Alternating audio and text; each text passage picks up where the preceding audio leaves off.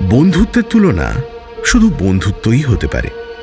জীবনের যে কোনো পরিস্থিতিকে সুন্দর মানিয়ে তোলে এই বন্ধুত্বই। জীবনে ভালো বন্ধুত্বের ছায়া না থাকলে সে আর জীবন কি হলো? কিন্তু কখনো কখনো এই ভালো লাগার সীমানা অতিক্রান্ত হয়ে যায়। তখন মনে হয়, এই বন্ধুত্ব চাই না। যেটা ছিল সেটাই ভালো। তার বাইরে আর কিছুর প্রয়োজন নেই। ফিয়ার ফ্যাক্টরির এই এক্সপিরিয়েন্স শুনে এরকম মনে হওয়াটাই স্বাভাবিক। এই ঘটনা আমাদের পাঠিয়েছেন হালি শহর থেকে নরেন্দ্র পাল চৌধুরী। ঘটনাটি তিনি শুনেছিলেন তার বাবার কাছ থেকে। এই এপিসোডের নাম শ্মশানের রাত। বাকি ঘটনা তার বাবার জবানিতেই শুরু হচ্ছে ফিয়ার ফ্যাক্টরি মির্চি প্লাসে গল্পের আসল আড্ডা। আমার ছোটবেলা কেটেছে নদিয়া জেলার এক গ্রামে। ইলেকট্রিসিটি পৌঁছলেও আধুনিকতা খুব বেশি পৌঁছয়নি। গ্রাম্য পরিবেশ, খোলা মাঠ, নদীর ধার, স্কুল কলেজ পালিয়ে আড্ডা নিয়ে বেশ নির্বিঘ্নে ছিলাম। কিন্তু সেটা বেশি দিন টিকল না। একবার বর্ষাকালে কি একটা অজানা জ্বর আমাদের গ্রামে দাবানলের মতো ছড়িয়ে পড়ল। বেশ কিছু মানুষ অসুস্থ হয়ে পড়লেন। কয়েকজনের মৃত্যু হলো। তখন অল্প বয়স। আমি আর আমার কয়েকজন বন্ধু, প্রবীর, অসীম আর ভোলা, ঘুরে ঘুরে গ্রামের মানুষজনের খোঁজ খবর নিতাম। বিপদে আপদে পাশে দাঁড়াতাম। তখন ওই তল্লাটে চিকিৎসার ব্যবস্থা খুব ভালো ছিল না। কেউ মারা গেলে শ্মশানে নিয়ে যাওয়ার বন্দোবস্ত আমরাই করতাম। কি ভাগ্যি! আমরা কেউ অসুস্থ হয়ে পড়িনি সেই জ্বরের ধাক্কায়। একদিন খবর পেলাম, প্রবীরদের পাড়াতে একজন খুব অসুস্থ হয়ে পড়েছেন। ছেলেটা আমাদেরই বয়সী, নাম অমল। আমাদের সঙ্গে তেমন বন্ধুত্ব না থাকলেও আলাপ আছে। ছেলেটা প্রবীরের বেশি বন্ধু, কারণ ওদের পাশাপাশি বাড়ি। ছোট থেকেই একসাথে বড় হয়েছে। খবর পেয়ে দৌড়লাম। পৌঁছে দেখি ওদের বাড়ির সামনে প্রবীর দাঁড়িয়ে। আমাদের দেখে গম্ভীর মুখে মাথা নেড়ে বলল, কিছু করার নেই রে। ডাক্তার একরকম জবাব দিয়ে দিয়েছে। মাত্র দুদিনের মধ্যে গোটা ব্যাপারটা হাত থেকে বেরিয়ে গেল। ওর বাবা মা নেই আর দাদারাও ছেলেটার শরীর স্বাস্থ্য নিয়ে বিশেষ গা করেনি। এখন দৌড়োদৌড়ি করে কী লাভ? তোরা এখন বাড়ি চলে যা। কিন্তু তৈরি থাকিস। শ্মশানে যেতে হতে পারে। আমরা এসব কথা শুনেও প্রবীরকে ছেড়ে এলাম না। ওখানেই সবাই বসে রইলাম। সন্ধে নাগাদ অমল চলে গেল আর শুরু হলো আকাশ ভাঙা বৃষ্টি। টানা দেড় ঘণ্টা মুষলধারে বৃষ্টি হওয়ার পর যখন চারপাশ শান্ত হলো, তখন অমলের দাদারা বেরিয়ে এসে বললেন, ওকে শ্মশানে নিয়ে যাওয়ার ব্যবস্থা করতে হবে। আমরা উঠে দাঁড়িয়ে বললাম, এই তো, আমরা আছি। তাজ্জব ব্যাপার, ওর বাড়ি থেকে কেউ আর এলো না। আমরা চারজনই গেলাম। ওর পাড়া থেকে আরও দুজন এলো সঙ্গে। আমরাই খাট কাঁধে নিয়ে শ্মশানে হাজির হলাম। সেটা আবার আমাদের গ্রাম থেকে বেশ খানিকটা দূরে। তখন ইলেকট্রিক চুল্লির বালাই নেই, কাঠই ভরসা। প্রথমে ভয় হয়েছিল, এই বৃষ্টির দিনে কাঠ পাবো তো? গিয়ে দেখলাম সে সমস্যা নেই। বৃষ্টি হওয়ার জন্যই বোধ হয় চারপাশ খাঁ খাঁ করছে। একটা লোক গুমটির মধ্যে বসেছিল। দেখে মনে হচ্ছে সে নেশা করে চুর হয়ে রয়েছে। কোনো রকমের ব্যবস্থা করে দিয়ে আবার গুমটির মধ্যে ঢুকে গেল। দাহ করার জায়গাটা নদীর কাছেই এবং শ্মশানের মূল রাস্তা আর ওই গুমটি থেকে বেশ দূরে। লোকটা গুমটিতে যাওয়ার আগে জড়ানো গলায় বলে গেল, দেড় ঘণ্টা পরে যেন তাকে ডেকে দেওয়া হয়। চিতায় তোলার পর বাকি দুজন চলে গেল। থেকে গেলাম আমরা চারজনই। প্রবীর খানিক চুপ করে বসে থেকে হঠাৎ অমলের দাদাদের গালাগালি দিতে আরম্ভ করল। বলল, আজকের পর ভাইকে আর কোনোদিন দেখতে পাবেন না। তাও বৃষ্টির দোহাই দিয়ে লোকগুলো এলো না। এতে মানুষ বলা যায় না। আমরা সবাই প্রবীরকে শান্ত করার চেষ্টা করছিলাম। এবার দেখলাম ও হঠাৎ কেঁদে উঠে বলল, জ্ঞান হওয়া অব্দি ওকে আমি চিনি রে। ওর সাথেই আমার বদমাইশিতে হাতে খড়ি। সিগারেটে প্রথম টান পর্যন্ত ওর সঙ্গে দিয়েছি।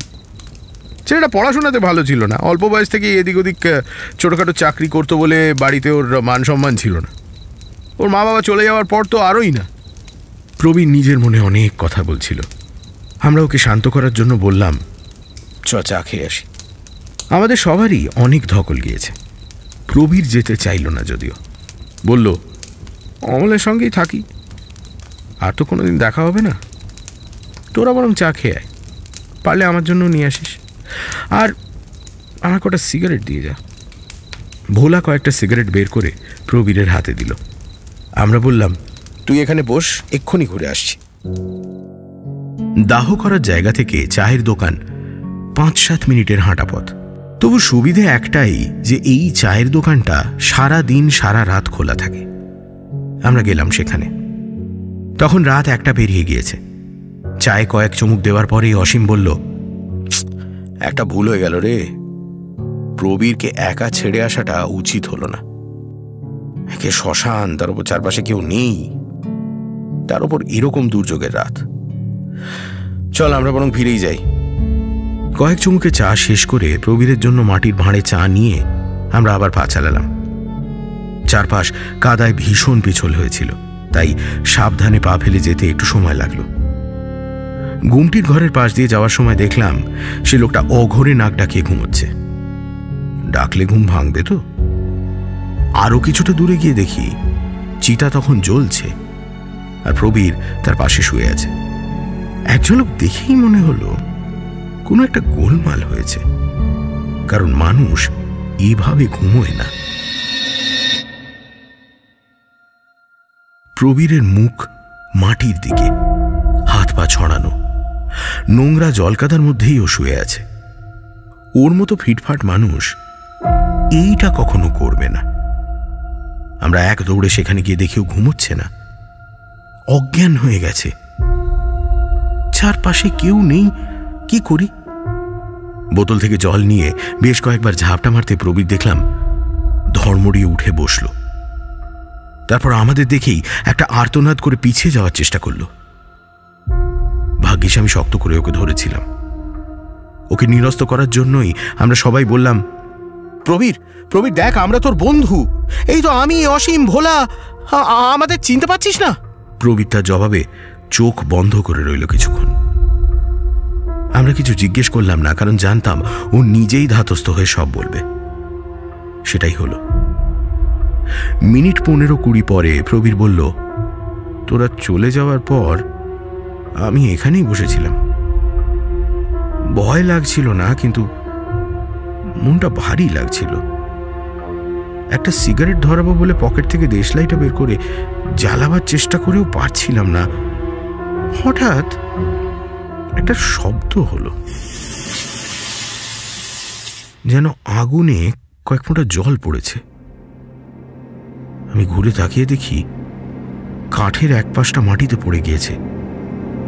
আর অমল ওরকম ওরকম হাত পোড়ার চেহারা নিয়ে উঠে বসেছে। হাতটা বাড়িয়ে দিচ্ছে আমার দিকে। নখগুলো আরও বড় হয়ে যাচ্ছে। আমার সিগারেটটা ও- ধরিয়ে দিতে চায়। ওর হাতটা ওর হাতটা আমার দিকে আমার দিকে এগিয়ে আসছিল। বিশ্বাস কর বিশ্বাস কর ও এক ভঙ্গিমায় হাতের আঙুলে। আগুন আর মাংস, চামড়া সব এক হয়ে গিয়েছে। সে বিভৎস দৃশ্য। আমি নিশ্চিত যে আমার সিগারেট ধরিয়ে দিতেই আসছিল। ওই দেখ, আশেপাশে কাঠ ছিটকে পড়েছে। আমরা তাকিয়ে দেখলাম, আশেপাশে কাঠ পড়ে রয়েছে, কিন্তু সেটা আগুনের ধাক্কাতেও হতে পারে। প্রবীর আরও বলল, ও, কেমন একটা কেমন একটা আজ শোয়া হয়েছিল। যেন সিগারেট জ্বালানোর জন্য খুব আগ্রহী। হাতটা হাতটা তিত্তির করে কাঁপছিল। আমরা হাত তুলে প্রবীরকে থামতে বললাম। অন্য কেউ হলে হেসে উড়িয়ে দিতাম। কিন্তু সেই বর্ষার রাত, সেই জনমানবহীন জায়গা, সবকিছুর বিচার করে মন অন্য কথা বলল। আমরা আর সময় নষ্ট না করে বেরিয়ে এলাম। বন্ধুত্বের সীমা সব কিছুতেই থাকা উচিত। ফেয়ার ফ্যাক্টরি ফিরে আসবে মির্চি প্লাসে। গল্পের আসল আড্ডা।